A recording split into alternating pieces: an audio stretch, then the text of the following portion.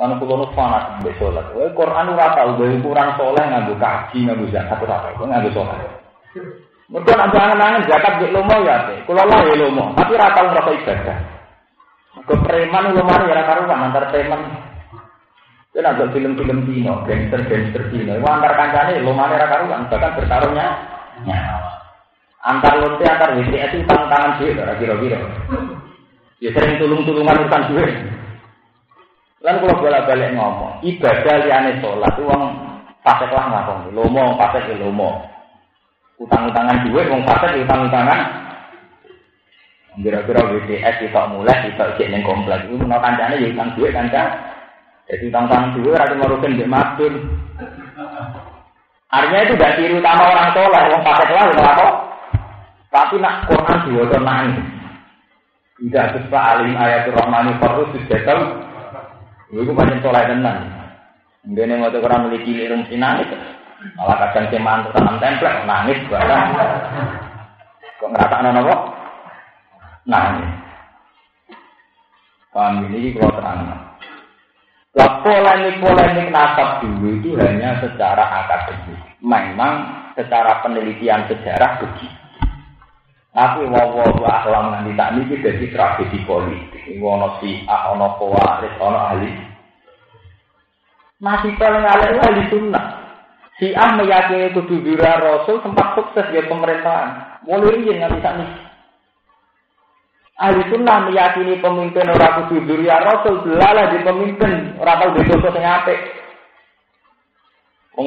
ulama-ulama itu non non duria rasul sing sempat dipimpin Amir dalam sejarah Umar bin Abdul ya ini gendul kabeh sejarah itu ngeri kabeh Suami, nah ini masalah yang terbawa sampai sekarang. Berapa ribu orang tidak berani niai hanya karena merasa ada anaknya. Iya. Itu kan kehilangan besar bagi umat Islam. Karena tidak semua kiai yang bernasab bisa menyentuh lapisan masa. Yang ribuan kiai yang tidak bernasab tidak berani kiai hanya karena tidak anaknya apa? Kiai. Eh, ini di mulai tafal bulan tiga, bahwa kalau tujuh ayat Jadi terakhir Quran niku ditutup kalau istilah wa mimman hadena apa? Wastabina kalau tujuh ayat mau tersane. Jadi surat Maryam gimana surat Maryam.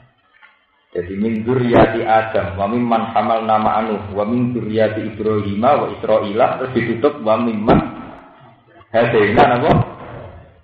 Niku ayat niku nomor 58 surat Mairan. 50 pinten? Jadi cerita nasab niku mau secara penelitian saat itu memang kabeh nabi niku dzurriyyati Ibrahim kalian Israil. Tapi untuk periode ini Nabi Muhammad wa mimman hadaina Wattaqu. Nomor ini seket seket Ini seket puluh.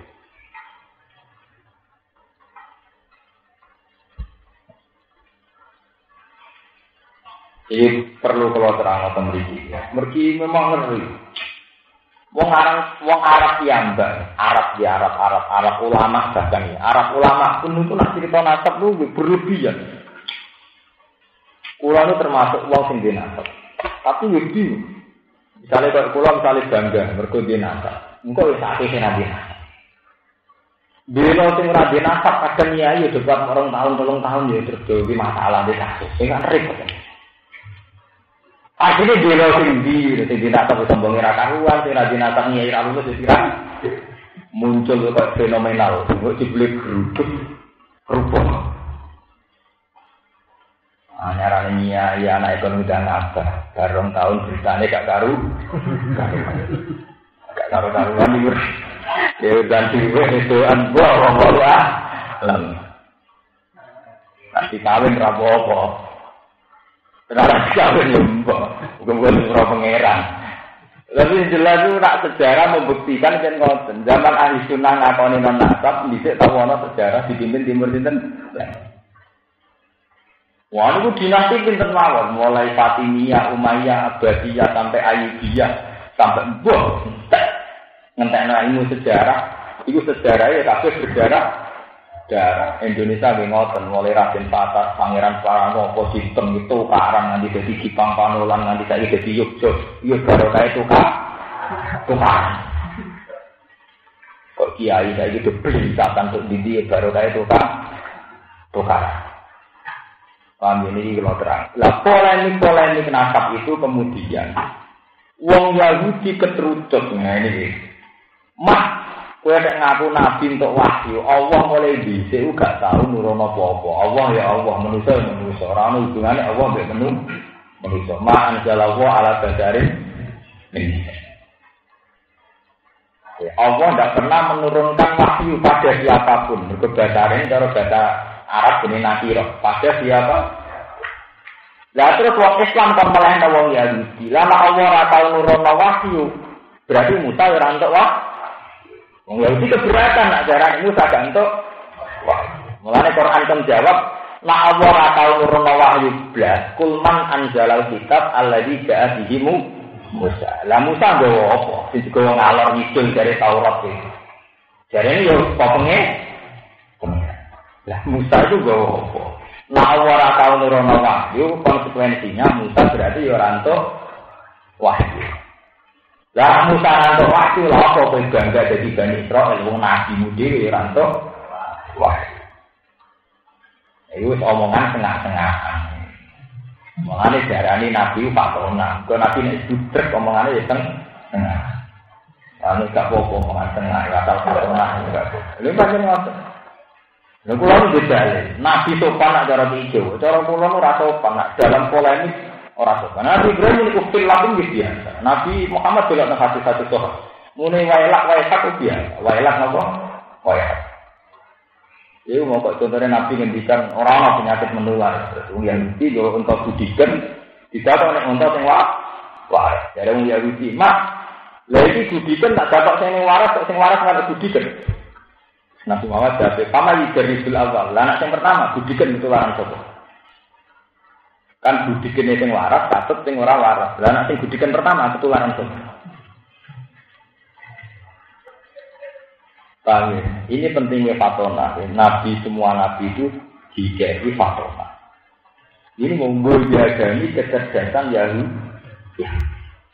Yahudi itu ilmu nasab itu detail sekali. Widelalah tenang, repotnya tenang.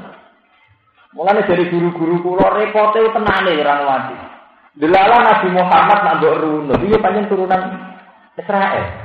Iya mergo Nabi Muhammad turunan Ibrahim. Lewat jalur Ismail. Lah Ibrahim nurun Yakub Ishak. Ora sami boten. Ya sami. Repotnya secara fakta itu di sini ngoten itu tenan. Nabi Muhammad tak muji Nabi Yusuf Al-Karim, Ibnu Karim. Jadi di gua-gua kiai-kiai, nak jadi kiai nanti teng teluan jenenge Al-Karim, Ibnu Karim, Monggo sering pidato MCMC ini, anggar ngelakuin sing gus-gus kan. Ini ditambahkan di Al Karim, Ibnu Karim, Ibnu Karim, semuanya. Orang Karim. Karim buyutmu. Ngono di kono ya seneng, gue tahu Karim, Bin Karim. Karim malah variasi tuh, seneng kembar bukti gak. Ya, jangan salah itu repot. Ada sampean kudu ngerti. Nah, sebab itu kadang ini kok ini balik balik ben sampean cerdas. Sebab itu terus kita, ah, bener teori kulo, agama mau kayak sholat.